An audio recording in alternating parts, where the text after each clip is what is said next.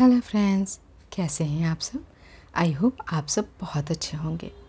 तो चलिए, आज फिर से चलते हैं अपने किचन की ओर और और देखते हैं कि आज हमारे किचन में कौन कौन सी टिप है, जो कि जब हम कभी किचन में छोटे छोटे काम में फंस जाते हैं ना तो ये मेरी छोटी छोटी टिप आपकी बहुत मदद करती है।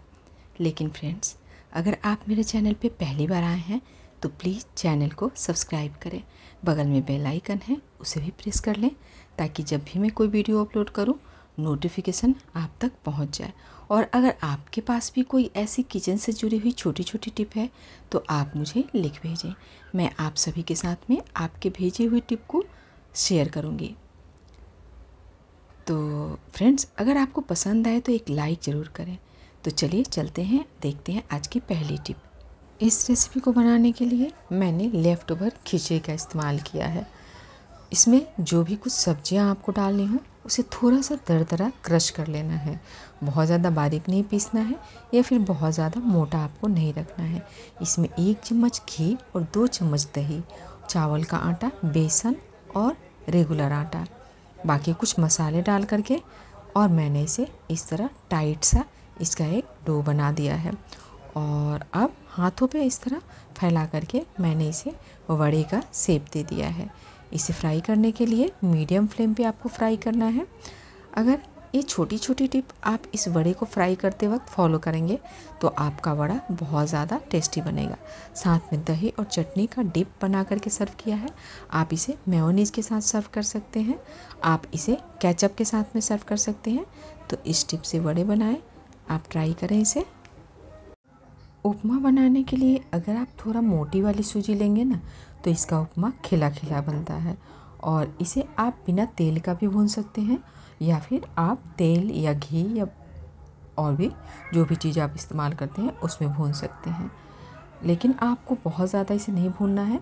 एकदम हल्का जैसे ही कलर आना शुरू हो जाए तो बस उतना ही आपको भूनना है। अगर आप ज़्यादा लाल कर देंगे तो इसका टेस्ट ख़राब हो जाएगा या फिर कलर भी आप देखते हैं ख़राब हो जाएगा। सब्ज़ी को भूनते वक्त, आप भूनते वक्त ही अगर नमक डाल देंगे तो सब्ज़ी आपकी थोड़ी जल्दी सॉफ्ट हो जाएगी और उसके बाद अगर आप पानी डालेंगे तो आप देखेंगे कि सब्ज़ी पहले से ही थोड़ी सी सॉफ्ट हो जाएगी तो आपको ज़्यादा पकाना नहीं पड़ेगा। पानी आपको माप के डालना है। अगर एक कटोरी सूजी है तो आपको तीन कटोरी इसमें पानी डालना है। तो इस तरह अगर आप अपना उपमा बनाएँगे तो आपका उपमा बिल्कुल परफेक्ट बनेगा। तो ट्राई करें। इस गोलगप्पे के पूरी को मैंने बिना फ्राई किए माइक्रोवेव में बनाया है। तो माइक्रोवेव में हंड्रेड पे इसे थर्टी सेकेंड के लिए मैंने चलाया है। बहुत ही अच्छा ये फूल गया है। तो अगर आपको बिना फ्राई किए गोलगप्पे खाने का मन है तो आप इस तरह इसे बना सकते हैं। अगर आपके पास माइक्रोवेव नहीं है तो आप इसे बालू में, यानी कि रेत में, या फिर आप इसे नमक में भून सकते हैं। नमक को अच्छी तरह गर्म कर लीजिए और गर्म करके उसमें एक एक दो दो करके डालिए और डाल करके उसे चलाते रहिए। आप देखेंगे ये बिल्कुल इस तरह फूल जाएगा, जैसा कि आपको माइक्रोवेव माइक्रोवेव में फूला हुआ दिख रहा है।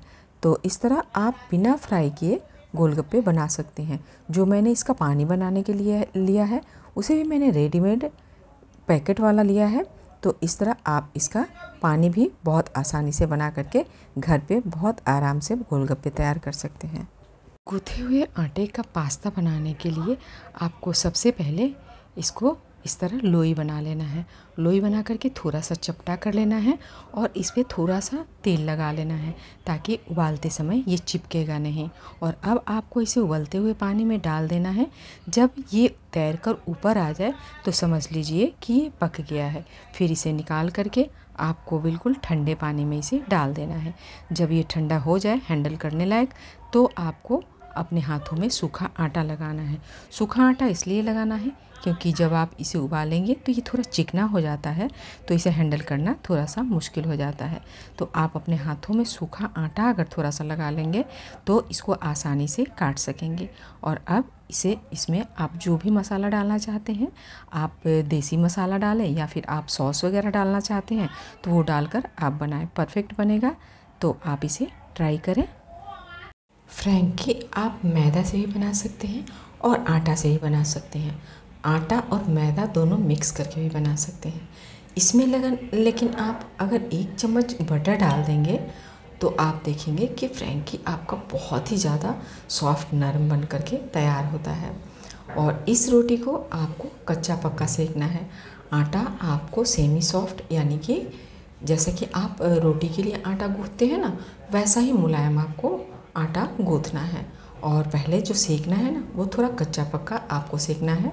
जब आपको फ्रैंकी तैयार करना हो, तब आप इसे बटर में, घी में या फिर तेल में जो भी आप पसंद करते हो, उसमें सेक करके और उसमें आप सॉस, सब्ज़ियाँ लगा करके इसे इस तरह दो पीस में कर सकते हैं। या फिर आप सिंगल नीचे फॉइल पेपर या फिर कोई रैप पेपर लगा करके इसे सर्व कर सकते हैं। तो इस टिप से बनाएँगे तो बिल्कुल परफेक्ट बनेगा। ट्राई करें। इस मालपुए को बनाने के लिए मैंने पनीर लिया है। तो पनीर लिया है सौ ग्राम और इसमें चीनी डाला है डेढ़ कटोरी और उसी कटोरी से मैंने मैदा डाला है। सबसे पहले तो पनीर को बिल्कुल बारीक पीस लिया है चीनी के साथ में और फिर एक केला डाल करके उसे भी बिल्कुल बारीक पीस लिया है चीनी के साथ में और अब इसमें मैदा डाला है। धीरे धीरे करके मैदा डाल करके और इसे पानी के साथ में इसका एक इस तरह केक की तरह, जैसे कि रिबन कंसिस्टेंसी का बैटर हमने तैयार कर लिया है। और अब इसे फ्राई करने के लिए आपको हाई फ्लेम पे बिल्कुल फ्राई नहीं करना है। तेल को एकदम कम गर्म करना है। बहुत ज़्यादा गर्म नहीं करना है, वरना आपका मालपुआ ख़राब हो जाएगा। और अब इसे लो फ्लेम पे ही डालना है और लो फ्लेम पे ही आपको इसे दबा दबा करके फ्राई करना है, वरना ये अंदर से कच्चा रह जाएगा। तो इस टिप के साथ मालपुआ बनाएँगे तो बिल्कुल परफेक्ट बनेगा।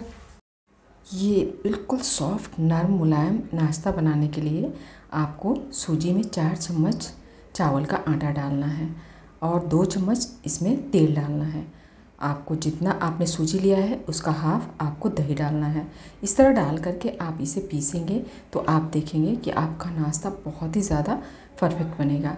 आप इसमें थोड़ा सा भुना हुआ तेल डाल लेंगे तो इसका स्वाद काफ़ी अलग आता है मतलब कि काफ़ी अच्छा आता है। आप इसके ऊपर थोड़ा सा लाल मिर्च का पाउडर अगर स्प्रिंकल कर दें, कर देंगे तो देखने में तो काफ़ी अच्छा लगता ही है, खाने में भी काफ़ी अच्छा लगता है। और अब आप इसे थोड़ा सा तेल डालकर हल्का सा इसे थोड़ा सा फ्राई कर लीजिए, यानी कि सेलो फ्राई कर लीजिए। आप इसे बिना सेलो फ्राई किए भी खा सकते हैं, बहुत ही टेस्टी लगता है।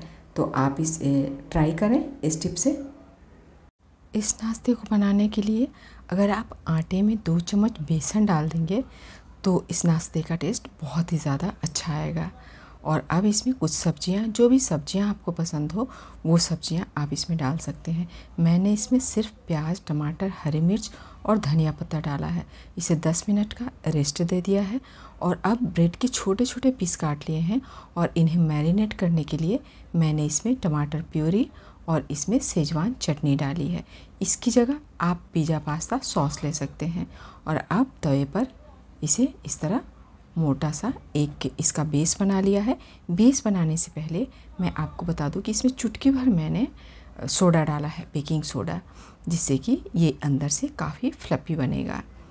और अब इसके ऊपर ब्रेड के पीसेस लगा करके ये बिल्कुल टेस्टी सा नाश्ता बन करके तैयार है।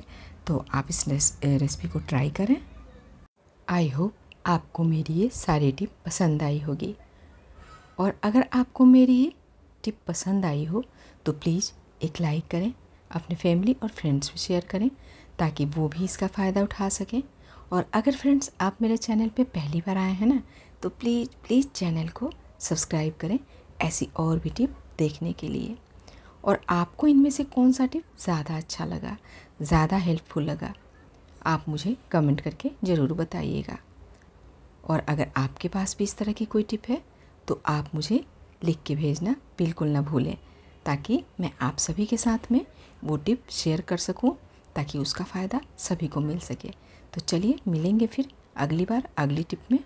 तब तक के लिए take care and bye bye